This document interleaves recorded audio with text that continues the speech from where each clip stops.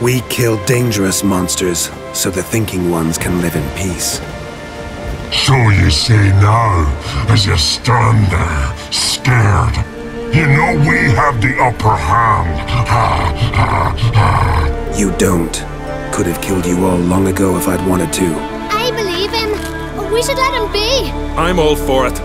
To my thinking, he's telling the truth. Let witchy thingy go. Ah, fools!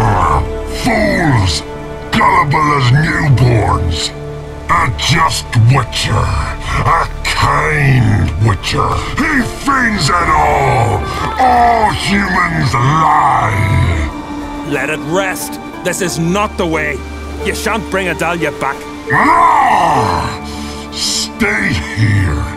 I'll finish this alone.